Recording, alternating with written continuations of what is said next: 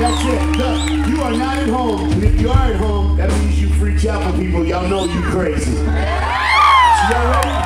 Let's rock this. Let's take this song up.